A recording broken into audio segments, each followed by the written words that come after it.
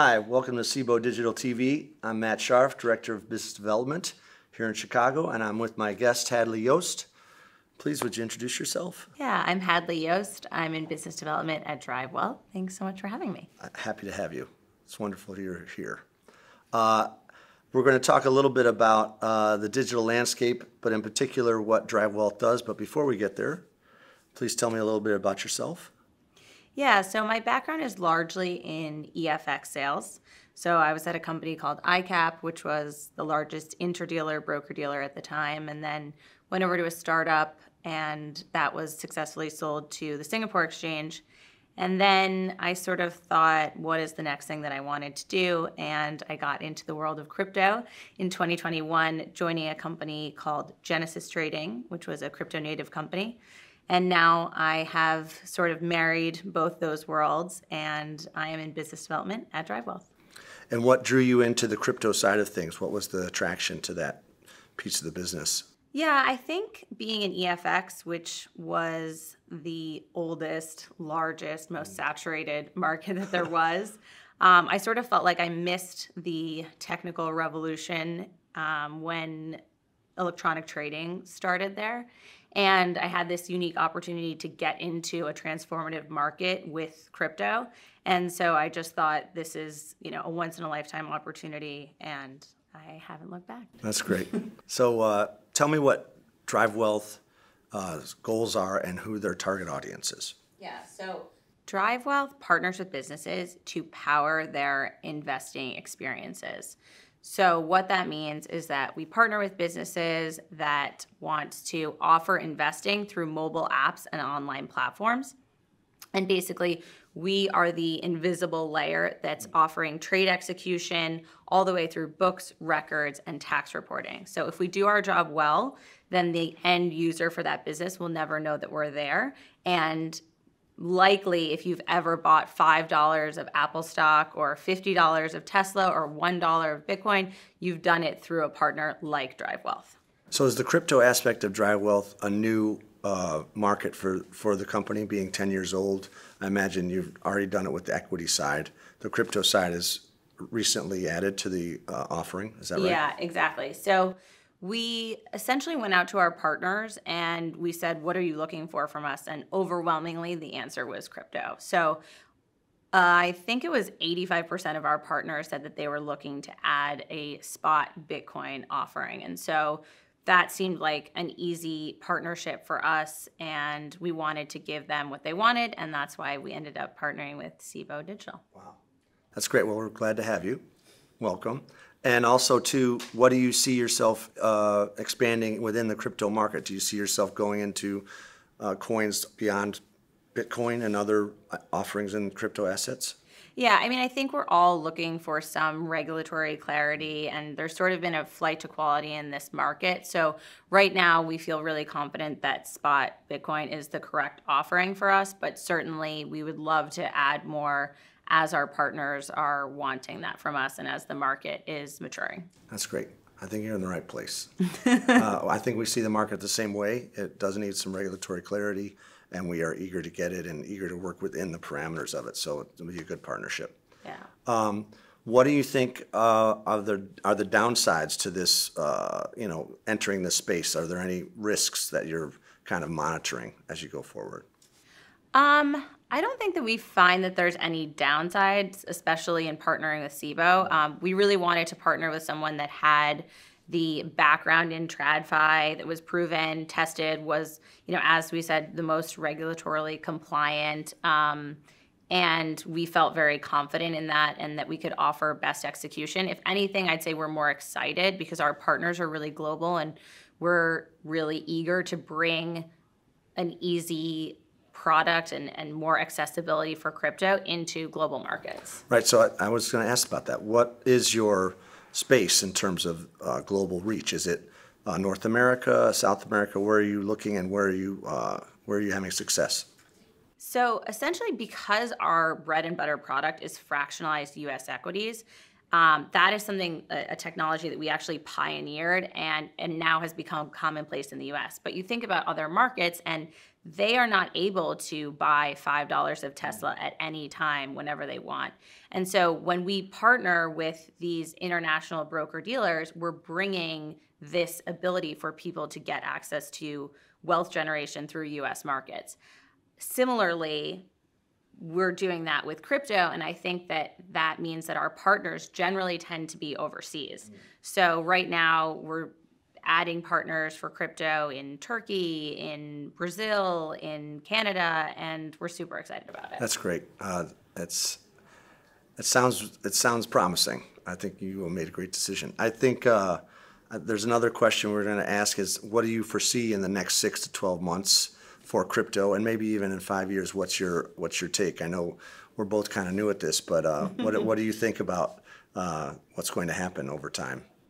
I think um, obviously we're all sort of excited by the prospect of there being an approved spot Bitcoin ETF and what that will do to this market. So I think we're all sort of waiting for that. And I think obviously what just occurred with Ripple is pretty interesting and uh, will sort of shape what is deemed a security and what isn't. And I think, if anything, it's just furthering the conversation and proving that there has to be decisions one way or another, and um, that will bring more market participants, both retail and institutional, into the market. So Hadley, Cboe Digital and Drive Wealth have a partnership. We're very proud of that.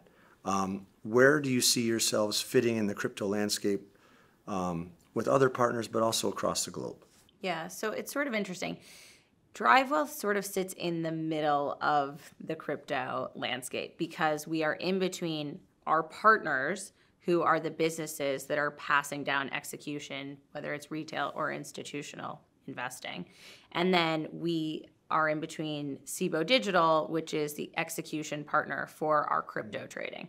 So we see ourselves as sort of the bridge and being part of that process of easing execution for people and you know adding access So customer base, right? Um, who is it? Where are they?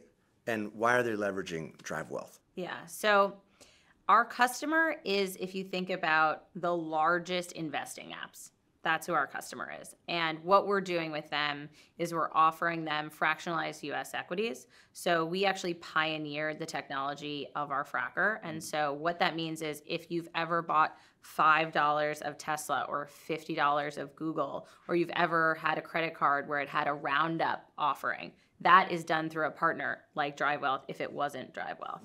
Um, and ultimately what our mission is is to democratize access to global markets especially the us we have 25 seats of the floor on the floor of the new york stock exchange.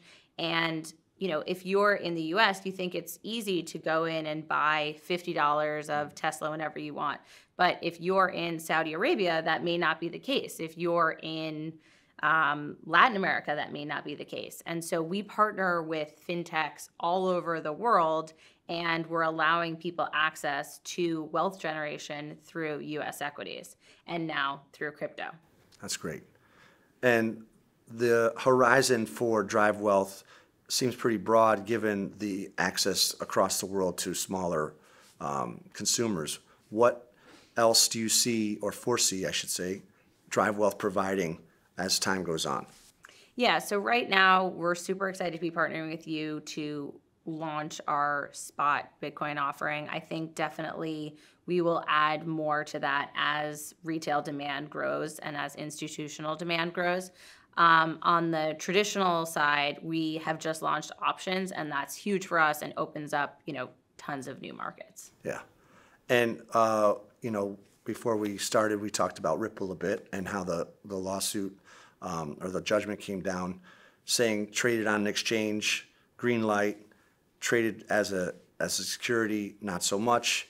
Um, how do you feel about that as a tailwind or headwind um, for our partnership together that seemed very promising? Uh, what would your take on that uh, decision be?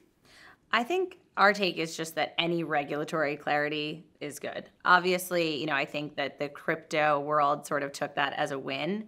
Um, for us, we were always just going to be playing in the Bitcoin sandbox for now. So um, we just took it more as great that there was any kind of judgment that could lead to regulatory clarity because that's what people are wanting and that is what will ultimately bring in more investors and more market participants. Sure. And then, uh, crazy question. Let's go two to five years out. Uh, Drive Wealth is still cooking and, and providing services across the world. What is the grand or the best uh, outcome you can see for yourself and the, and the company in those terms, those time terms? Yeah, so there's a ton of different use cases for Drive Wealth, and I think that the ultimate goal, like I said, is to democratize access to global markets.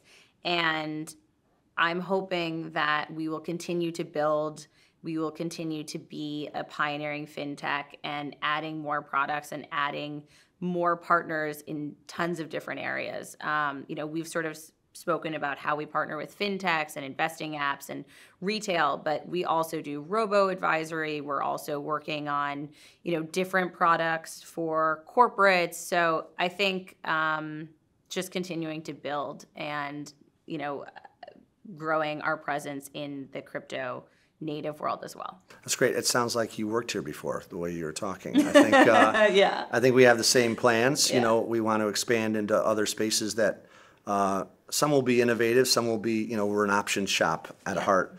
That will be next. So um, I'm glad you're with us, and I'm glad that we uh, will be traveling the road together. It sounds like it's going to be a great partnership. Yeah, I definitely think that we created this partnership because we had such a similar vision and you have such a proven track record in TradFi as do we and we are just building our our business in crypto one one trade at a time. Yeah, and I think there's nothing more global than crypto. Yeah. So uh, looking forward to working with you moving forward. Yeah. It's great.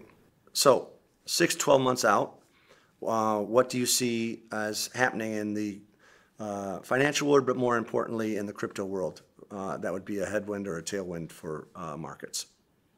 I think um, if a spot Bitcoin ETF does get approved, that will be pretty transformative for this market and add a lot of confidence and new market participants. So I'm sort of staying tuned for that. Well, thank you for being here. It's been a pleasure talking to you and sharing the information. Uh, I want to thank uh, people for spending the time with us, and I hope it was enjoyable and useful. And please come back and check out more Cboe Digital TV next time around. Thanks.